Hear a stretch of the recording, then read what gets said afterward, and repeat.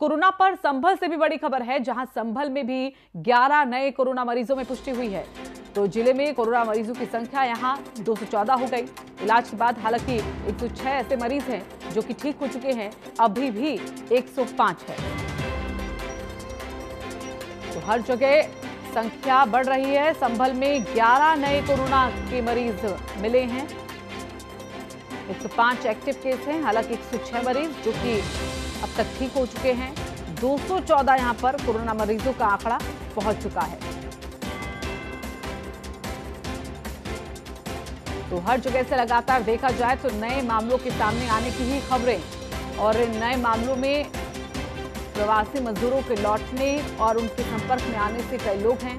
फ़िलहाल उन सभी इलाकों को सील कर दिया गया है। एहतियात वहाँ पर बढ़ते जा रहे हैं जहाँ से नए केसेस लगातार सामने आ रहे हैं। तो संभल में 11 नए मरीज़ आए सामने। कोरोना को लेकर कोरोना पॉजिटिव पाए गए हैं और 214 संख्या अब कुल मिलाकर ज़िले में हो गई है। कोरोना संक्रमित मरीजों की हालाँकि एक्टिव केस को देखिए और इलाज के बाद ठीक होने वाले मरीजों को देखिए तो वो एक बराबरी पर है।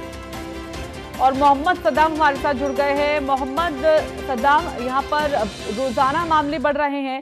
संभल को लेकर अक्सर ज़िक्र होता है और 10 से ज़्यादा रोज़ाना मामले देखे जाते हैं। लेकिन यहाँ पर एक एक राहत की बात है कि एक्टिव केस को देखा जाए और अगर ठीक हुए मरीजों को देखा जाए तो वो बराबरी पर है। जी तो मैं आपको बताना चाहूँगा, जिस तरीके से कोरोना संक्रमण ने जो कहर बरपाया है, उसको सबसे ज़्यादा कहर अब संभल में देखने को मिल रहा है।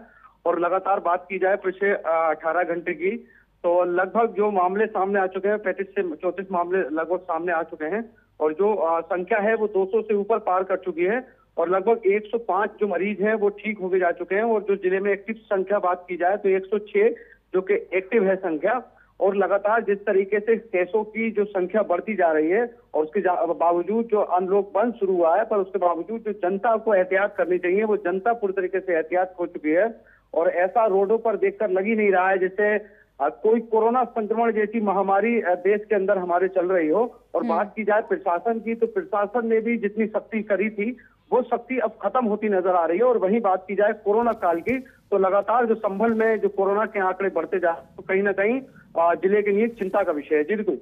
चलिए धन्यवाद आपका सद्दाम हमारे साथ जुड़ने के लिए।